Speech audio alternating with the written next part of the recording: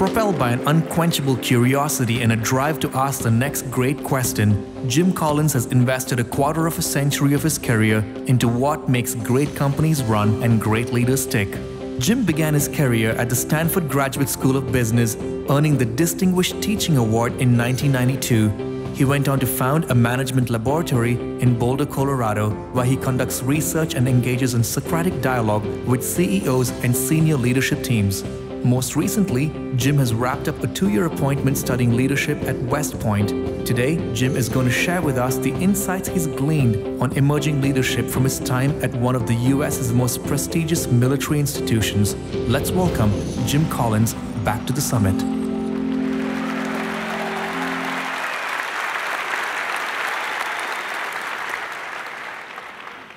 Well, good morning, good afternoon, wherever anyone might be. Uh, I, uh, I would like to begin with an expression of gratitude. Uh, gratitude to Bill for his enduring friendship, uh, for his mentorship to millions, uh, to the summit for the tremendous privilege to be back here again with all of you. I feel very much among friends, I'm truly grateful. After investing a quarter of a century of my life researching the singular question, what makes a great enterprise tick, be it in the business or the social sectors, I had a transformative opportunity. For 2012 and 2013, I had the honor to serve as the class of 1951 chair for the study of leadership at the United States Military Academy at West Point. It is one of the world's greatest leadership development institutions. It's been in the business of building leaders of character for more than 210 years. And I traveled to West Point multiple times to engage in Socratic dialogue and to reflect on the essence of leadership, how leaders can be built, and how good leaders can become great leaders. Today, I would like to share some of my reflections and learnings. And I emphasize learnings because I was, in fact, the one who learned the most in this journey. I only hope that I contribute even a small fraction of the learning to the cadets and to the academy that I learned from them. Inc. magazine uh, came out and wrote an article about my time in the chair. It was called The Re Education of Jim Collins. It's written by Bo Burlingham. You can Google it if you're interested.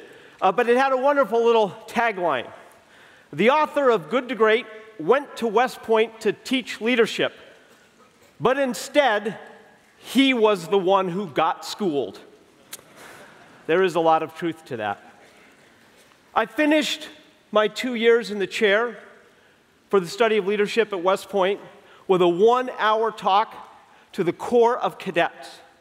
More than 4,000 remarkable, energetic, dedicated, service oriented young men and women who wear the cloth of their country assembled in Eisenhower Hall. And I had in my mind an image of each of those young leaders as like a vector going out into time and space. And if you could contribute or even slightly alter in a positive way the trajectory of those vectors over the course of a lifetime, it could be a huge sweep. And therefore, this felt to me like a huge not only just opportunity, but responsibility. And so my mission was to challenge these young leaders by integrating 25 years of research on great enterprises with the two years of my learning at West Point, what I learned largely from them. And today, inspired by a challenge from Bill, I would like to translate what I shared with them to you. I would like to translate for young leaders in any sector, for young leaders who want to grow into great leaders. Oh, and for those who have a few more decades under your belt, I would simply like to suggest that we are all young leaders. I believe that questions are better than answers. So I'm going to organize these reflections in the form of seven challenges in the form of seven questions. Now, to be clear, these are my personal reflections and views. They do not represent an official view of West Point or the Academy. They're just Jim's take. I hope you find them useful. Question number one What cause do you serve? What cause do you serve with level five ambition? In one of my seminars at West Point, I brought with me a truly great leader. She is one of my personal heroes, Wendy Kopp, the founder of Teach for America. And the first thing the cadets noticed is that Wendy is shy and reserved and soft spoken, not particularly charismatic. You wouldn't necessarily notice her in a crowd, and she told the story of how at age 21 she was in a funk. She didn't know what she wanted to do with her life, and she had to do a senior honors thesis in college. And she did it on education, in which she put forth two premises. Premise number one every single kid, no matter what zip code, no matter what family circumstance, no matter where born, every single kid deserves a shot at a solid K 12 education. Two, we should enlist some of our best young people coming out of college to sign up for at least two years of deployment into our most underserved schools, from the Mississippi Delta to Harlem and the Bronx. Since its founding, Teach for America has deployed more than 35,000 Corps members into those schools. More than a quarter of a million have applied. Wendy Kopp shows that if you have a charismatic cause, you do not need to be a charismatic leader. In 25 years of research and what makes great companies tick, one of the strongest and most consistent findings to come through all the data is the idea of level five ambition. In Good to Great, as many of you know, we discovered the idea of the level five leader, one blessed with a paradoxical blend of personal humility. That's the X factor of great leadership personal humility with an utterly indomitable will. But the deep inner essence of level five is the idea of service, of leading in service to a cause. We are talking here about ambition towering, exhausting, relentless, nonstop ambition, but channeled outward, away from yourself, into a cause, into an enterprise into a purpose, into something that is bigger and more important than we are. See, ego driven level four leaders, they're really good at inspiring people to follow them. The level five leaders inspire people to follow a cause. And therein is all the difference. At West Point, I was surprised to sense that many of my cadets that I got to know seemed happier and more engaged than my Stanford MBA students from when I taught there. And part of that, in my view, is that the ethic of service, commitment to cause bigger than yourself, just runs through the entire West Point experience, through the entire institution. And it is service with a capital S. And all of them know that some of them might die in that service. Now, you might be thinking, it's easier to have this level five ambition, leading in some service to cause at places like Teach for America and West Point, where the sense of cause is so clear, so omnipresent. But keep in mind, we originally uncovered the idea of level five ambition using business corporations as, the data set. That's where we found it. And we were not looking for it, it came to us from the data. This notion of the level five ambition, ambition for cause, ambition for something that is not you, was pronounced in all of our research studies of companies when they were truly great, in contrast to those infected with the disease of oppressive mediocrity or in decline. And that is why I'd like to challenge young leaders in every walk of life, as you're heading out, as you're one of those vectors, to do what the greatest entrepreneurs and the builders, great builders, have always done to infuse your enterprise with some purpose that goes far beyond just making money. Money is like blood and food and oxygen and water, essential for life. Without them, there is no life but they are not the point of life. Commitment to service is not a sector choice, it is a life choice. Or, in the words of another great leader I've come to know, Frances Hesselbein, who led the Girl Scouts back from good to great, to serve is to live.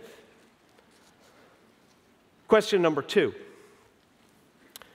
Will you settle for being a good leader or will you grow to become a great leader? Peter Drucker, one of my mentors, the most significant management thinker of the last 100 years, made the seminal observation that the 20th century would be characterized by a fundamental shift to where the cellular structure of society, of free society, would be organizations well managed. And that this was the best and only workable alternative to tyranny. And in that, he was profoundly right. I believe we might be on the cusp of a 21st century shift from a society of organizations well managed into the world being organized of society composed of networks well led. You don't manage a network. And if that's right, we're going to need great leadership distributed throughout all sectors. One of my goals and the chair for the study of leadership at West Point was to try to get clear on a deceptively simple question What is leadership? We talk about it all the time, but what exactly is it? Of course, leadership is not personality. We confuse leadership and personality all the time. It is not position. It is not title. It is not rank. It is not power. I believe that James MacGregor Burns had it essentially right when he said, True leadership only exists if people follow when they would otherwise have the freedom to not follow. To invoke power or rank or position or title as your primary means to getting things done is an abdication of leadership. Some of the most effective military leaders that I've come to know rely precious little on rank or position.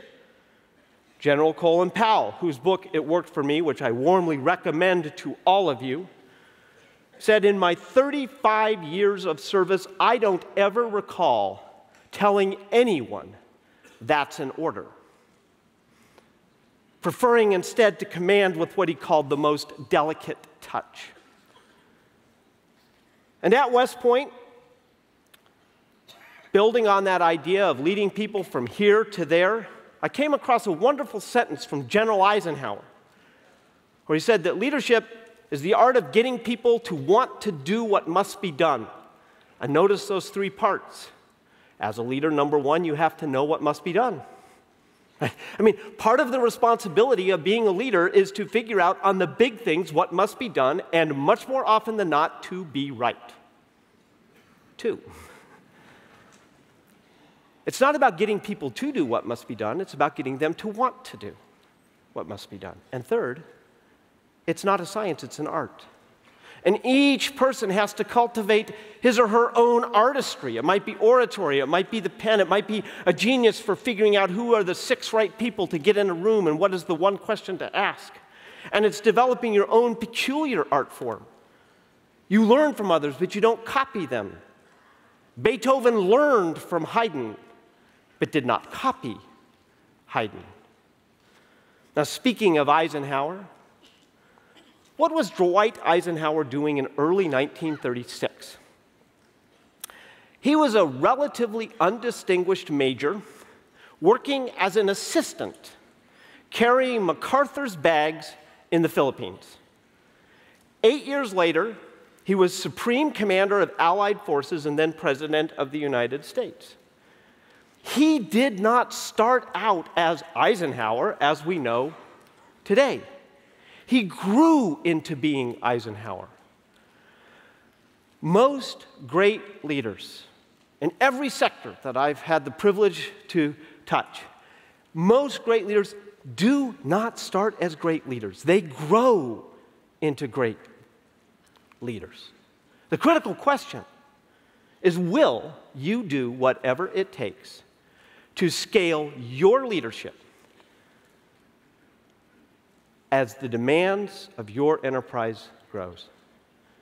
As your quest, as your cause, as your enterprise scales from 1x to 2x to 5x to 10x, will you scale your leadership from 1x to 2x to 5x to 10x? Because if your BHAGs are big enough, you're going to need to grow a lot. And that brings me to question number three How can you reframe failure as growth in pursuit of a BHAG? On May 15 of 2007, I sat on the side of El Capitan in Yosemite Valley rock climbing with a young man named Tommy Caldwell. Tommy is the greatest free climber of all time in the environment of El Capitan. And we started talking about BHAGs. BHAG is a term that goes back to the book Built to Last, which I co authored with my dear mentor and friend Jerry Porras. And it stands for Big, Hairy, Audacious Goal. And Tommy asked me a question Jim, this BHAG thing, this hairy thing, does a BHAG have to be achievable? Why do you ask? I have this idea for a climb. And looking out across the side of El Cap, we could see the alabaster smooth wall catching early morning light called the dawn wall. And to get a feel for El Capitan, I'd like you to imagine standing at the base of the Empire State Building. And then stack another one, and then another half of one, and look up, and you get the sense for the height. Now make it a mile wide, you get a sense for the scale of this thing. And it is vertical and overhanging. Tommy's idea was to free climb the dawn wall, the smoothest, most beautiful, spectacular, terrifying part of the wall. To free climb means you do use ropes, but they're only there as safety devices. You have to move up every single part of the climb under your own power of fingers and toes and hands. Some of the holes on the dawn wall are so small that it is easier to see them at night by headlamp when you can get a little bit of contrast than in the glare of daylight when it makes it very hard to see the hold. Imagine that holds so small you can't see them in sunlight, so you need to see them at night by headlamp. These are small holds, and it's on a vertical wall, and he's going to free climb this. It would be the hardest big wall free climb in history. But, but I, I don't know if I could do it, he thought to himself, and he said out loud, It might have to wait for a future generation. I said, Well, Tommy, one thing I know is if you know for certain that you will do the dawn wall, then it's not a BHAG. Fast forward five years to the summer of 2012. And I brought Tommy with me on one of my visits to West Point to engage in a leadership seminar with the West Point rock climbing team. And Tommy had committed to the BHAG to free climb the dawn wall. And by the time we were flying out to West Point together, he had accumulated nothing other than an impressive record of failure on the Dawn Wall. He kept failing. For four years, he'd been failing. He kept failing to stick the dyno move. Imagine taking a pencil, right, and putting it up against the wall, and that's your handhold. And you literally grab that and you throw yourself sideways seven feet, nothing touching, no hands, no feet, like some sort of a tree monkey, seven feet sideways, a thousand feet above the ground, and grab another little hold. And it's not even the hardest part of the pitch. and I asked Tommy, I said, it's been four years. You've just are failing and failing and failing. Why do you go back? You're the most accomplished free climber of your generation, and now all you're getting is failure. You don't understand, Jim. I am not failing, I'm growing. And that is the point of the climb. It is making me stronger. What is the other side of the coin from success? It's not failure, it's growth. Then Tommy asked me, How are the cadets on this? Reframing failure as growth. It's a great question. And when I asked the cadets assembled in Eisenhower Hall, how many of you have failed at something here at West Point? Well, 4,000 hands went up. How many experienced some profound sense of inadequacy? 4,000 hands went up. Let me see a show of hands in this room. How many sometime in your life have felt a profound sense of inadequacy relative to what you faced? Yes. How can you reframe the entire experience as you are not failing? You are growing. So, did Tommy ever succeed on the Dawn Wall? 2,801 days after that May Day when he asked, Does a BHAG have to be achievable? Tommy stood on the top, having succeeded on the Dawn Wall. But that's not the really impressive part of the story after Tommy had climbed, there's 30 pitches on the climb, after he had climbed the hardest middle pitches, pitches 10, 11, 12, 13, 14, 15, 16, 17, 18, 19, 20, he stood on a thing called Wino Tower. There was a thousand feet to go, and those of us who knew Tommy knew that those last thousand feet would not be hard for him, that he could push to the top in one go grab the glory, the hardest climb in history, with the whole world watching. And it's January, cool enough to grab those little holds, but that comes with a risk, which is that if you get a snowstorm, it could wipe out the ascent because you get the snow on top, which then melts into ice sheets, which then break off as like window panes of guillotines that come slicing down at you. Horrifying. So every day that goes by is a risk it could still come to an end. And there was a problem. Tommy's partner, Kevin Jorgeson, was stuck back down at pitch 15. You have a choice. Do you push to the top, grab the summit, achieve the BHAG? Or do you do what Tommy did?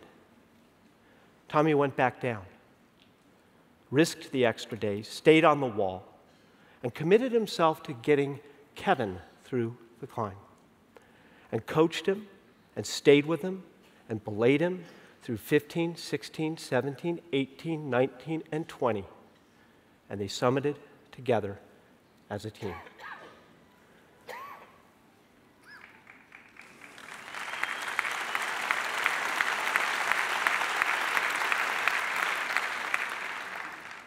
And that brings me to question number four. How can you succeed by helping others succeed? Early in my time in the leadership chair at West Point, I kept asking the cadets, What's hard here? What's difficult? And they would talk about the course load and the fact that they had to balance difficult course load with the physical demands and the military training, and it's a difficult environment, and just managing your time is difficult. But eventually, I kept hearing this word the IOCT. I'm like, well, what's the IOCT? Sir, you don't want to know what the IOCT is. No, I really do. Sir, you don't want to know. Sir, tell me about the IOCT. It stands for Indoor Obstacle Course Test. And it's at Hayes Gym, and the way it works is that, you know, it's sort of basically the clock goes off, and you have to crawl under barriers and run across tires and leap over a pommel horse and grab a eight foot shelf and mantle up and fly sideways across these bars and jump through a tire across a balance beam somersault, which they call a combat roll, over a wall, cross monkey bars, hand over hand up a rope. Then you grab a medicine ball and you sprint around the track. It really hurts. But here's the key there's a graduation time three minutes, 30 seconds for the men. If you do not make that time, you don't graduate. Slightly different time for the women. They don't make their time, they don't graduate. Imagine going through four years of West Point, clocking at 335 and not graduating. So I wanted to experience a little bit of the cadets experience, so I decided, against all better judgment, that for my 55th birthday gift to myself, I would train for and try to run the IOCT in 22 year old cadet graduation time. I do not recommend this for your 55th birthday. and I remember being over there at Hayes Gym, and I'd be working on the obstacles, and the cadets would come to help me, and I'd be working on the shelf, and they'd come along and very kindly say, Sir, don't do it like that, sir. You look like an old man. Well, I am an old man. So one day I'm, I'm standing there, but I took a break working on the IOCT, and uh, I stood back and I noticed something interesting. There were clumps of cadets helping other cadets. And you gotta remember, in West Point, everybody's failing at something. And there were some cadets who were, that the IOCT was the thing that could really get in their way. And their classmates were taking time out of their busy lives to come and make sure that their friends got through the IOCT. And if I could take away one thing from that experience that I wish I could bottle and put into every organization, it would be this idea that we succeed at our very best only when we help others succeed. This idea that when you're facing severe challenges or inadequacies or difficulty or risk or fear, that the response is, let me help you.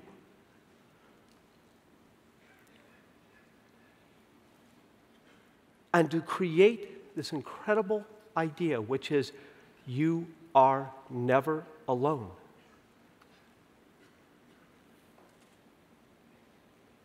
I came away from my time at West Point thinking about engaged cultures. And I drew this triangle. Tommy and I drew it on the airplane of inspired motivations. And if you could, if you could build this into your organization, these sort of three points of this triangle, on one point is the, at the top is the idea of service. And on the bottom right is the idea of success. And on the bottom left is the idea of growth, right? And we've talked about all three of those service, success, and growth.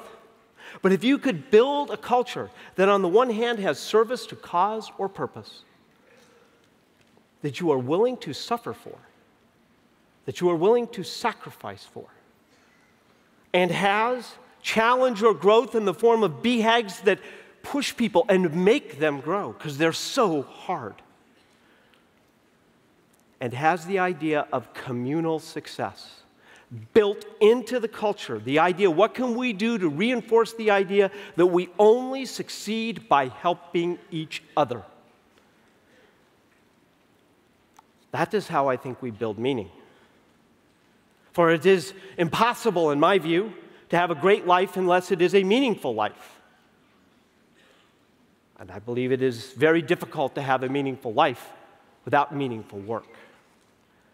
And how do we create meaning? Service, growth, communal success.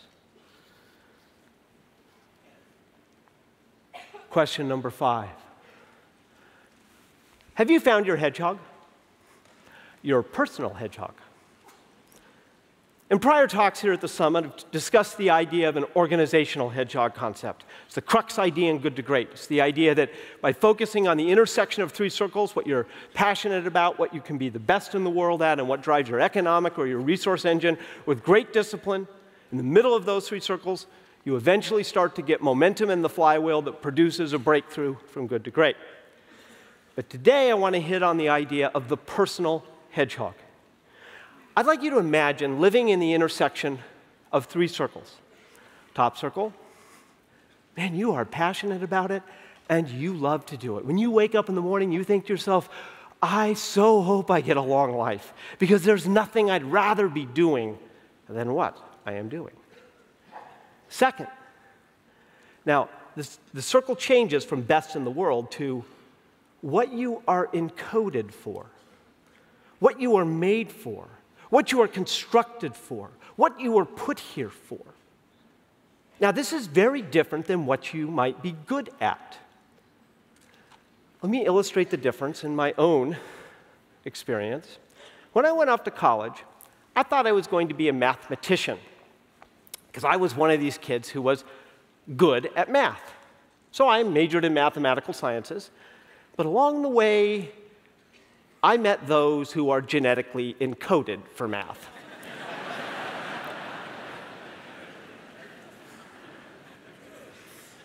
I had to find a different hedgehog. And now imagine the third circle. You have an economic engine. You can make a living and you can fund your BHAGs.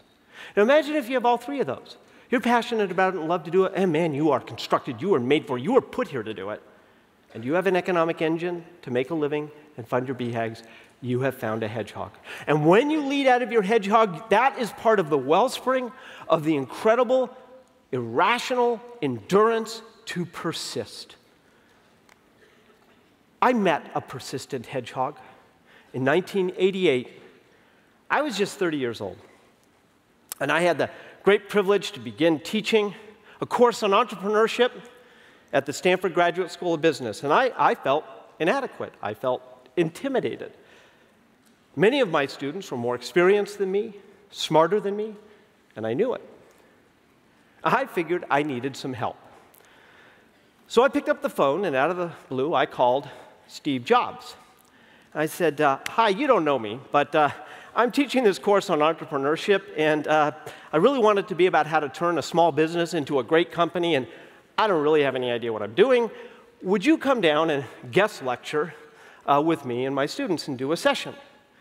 And Steve, who was, in my experience, always gracious, agreed. Partway into the session with my students, he made this little quip. Well, I got booted out of my last company. Something we should all probably experience at some point is getting fired. This was 1988. Just three years earlier, he had lost control of Apple in a bitter bad boardroom battle. And many people wrote him off. Some people even laughed behind his back. Consider this. When there was a gathering of the supposed 500 most important technology leaders in Silicon Valley, he didn't get an invitation. This is Steve Jobs. His new company, Next, wasn't becoming the next big thing. The wonderful stories of Pixar were off in the future. They were just getting going. He was in the wilderness. And you would think he might show some bitterness, some anger about that, and I'm sure he was hurt. He shows up, he bounds down in the middle of the classroom, sits cross legged right in front, says, So, what do you want to talk about? And we had this two hour, almost two hour session on life and leadership and creativity and technology and building companies. And he just exuded nothing except passion and energy and intensity. This was a man in his hedgehog. He had an unquenchable love of his work, which is why, no matter what anybody said, he got up every day and he went to work every single day. And he had a passion for an idea the idea that the most efficient animal in the world is a man on a bicycle, and computers are bicycles for the mind. And he would ask, what would change the world more? We could make one computer a thousand times more powerful, or we could make computers small, elegantly, beautifully accessible, and put them in the hands of a thousand creative people. He never lost passion for that idea, and he wasn't coded for it. What if Steve Jobs had quit in 1985? What if Wendy had quit when no one would fund Teach for America early on? What if Tommy had quit at year four on the Dawn Wall? What if Winston Churchill had quit in 1932 when Lady Astor quipped, Oh, Churchill, he's finished? Not quite. True creators stay in the game. We cannot control, we cannot predict every hand we get dealt in life. That's not entirely up to us. Sometimes you're going to get good hands, and sometimes you're going to get bad hands. But if you believe that life comes down to a single hand, man, you can lose really easy. But if you see life as a series of hands, and you refuse to leave the game, and you play every hand you get, whether it's a good hand or a bad hand, to the very best of your ability, that adds up to a huge compounding effect. Show of hands, how many of you, somewhere along the way, have just some point in life been flat out decked? I mean, laying on your back looking up. Decked. That's when you have to stay in the game.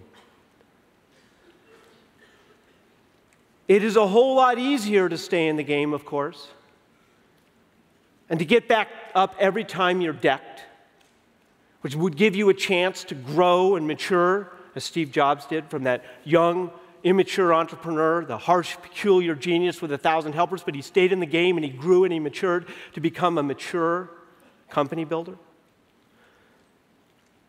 but you have to be in your hedgehog. You love to do it. You're made to do it. You're called to do it.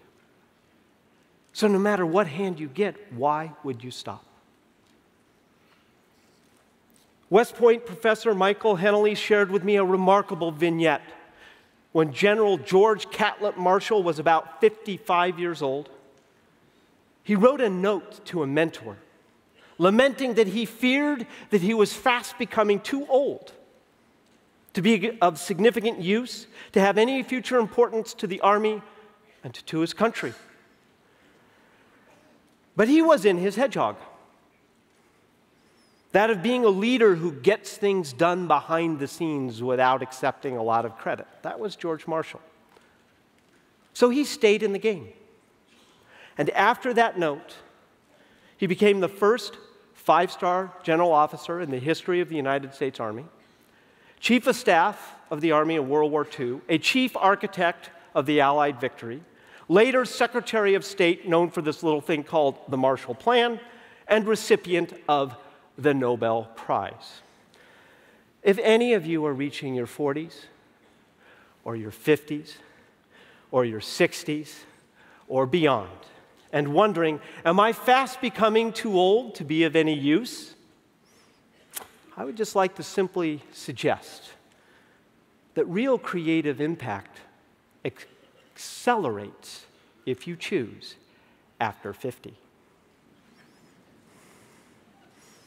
Amen.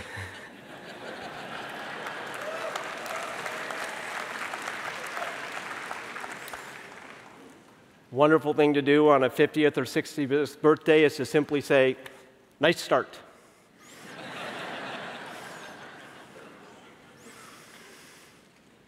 Question number six Will you build your unit, your minibus, into a pocket of greatness? One thing I gained greater appreciation for at West Point is that great leadership at the top doesn't amount to very much without exceptional leadership at the unit level. This is the cellular structure. This is where great things get done. And when I look at how the good to great CEOs became CEO, they did it by not focusing on their career. They focused on their unit of responsibility. And at every stage of their career, whatever they were running, whether it be in a little accounting department or whether it be a manufacturing facility, controllership, they built their unit into a pocket of greatness. And that is why they were tapped. Focus on your unit, not on your career. Every responsibility you get, make it a pocket of greatness. And if you do that, you are more likely to die of indigestion for too much of too much responsibility than starvation for too little. And focusing on your unit means, above all, being a first who leader rather than a first what leader. And that the number one executive skill for building a pocket of greatness of any size is figuring out who should be in the key seats on the bus. To be rigorous about your people decisions.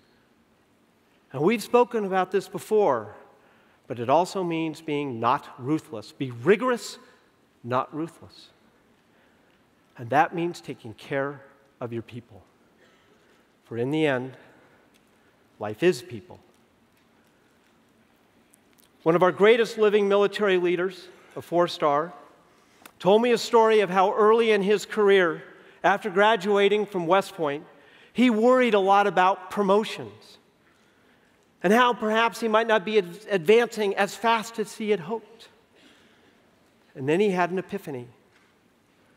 And he changed his focus from taking care of his career to taking care of his people.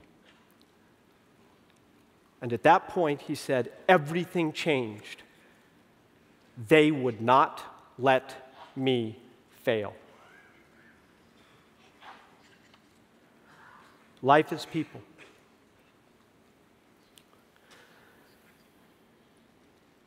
A few decades ago, a young girl sat dejected after a cross country running meet where she ran on the boys' team. Because amazingly, there was no girls' team and she had had a bad race. Her cross country coach and physics teacher, Roger Briggs, walked over and gave her a handwritten note. Some words of encouragement that ended with, Your time will come. That high school girl became my wife of now 35 years. The thing I am most proud of in my life is my marriage. Joanne Ernst.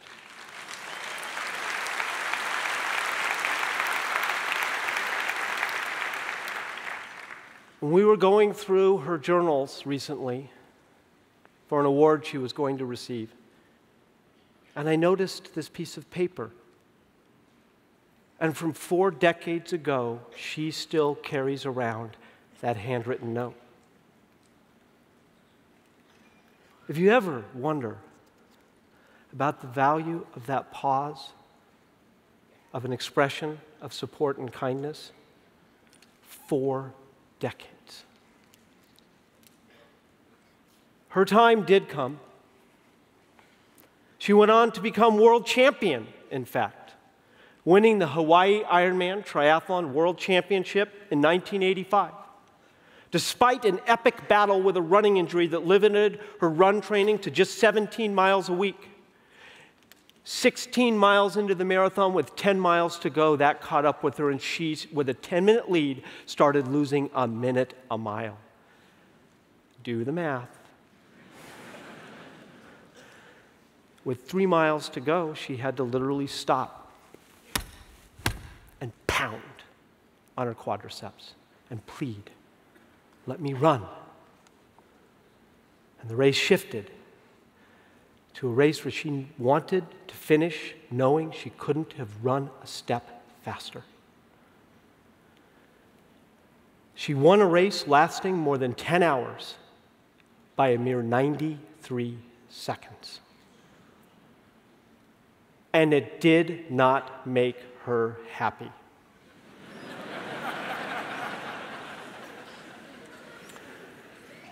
And it did not give her meaning because it was just an individual achievement.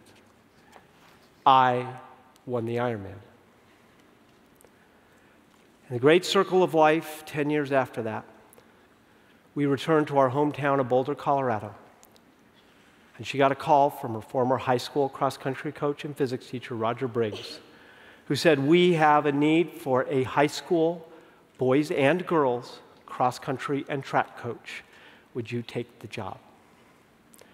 She returned to that school, threw herself into the kids program, and built a dynasty with four state championships, boys and girls, with no stars. She did it by building a culture where the kids are not running for themselves, they are running for each other. And when you are suffering at the end of the race, you are not running for you. And she said, I have found something that makes me happy and gives me meaning. Investing in the kids, building a program, showing them what's possible, changing their lives. The greatest leaders and people I have known and studied. They find a way to make a contribution, a distinctive impact on people, on real, live, flesh and blood people. And so I close with the seventh question. The question How will you change the lives of others? It might be a lot of people or just a few, but how will some people's lives be better and different because you were here on this earth? Life is people. And I hope you take advantage to be useful.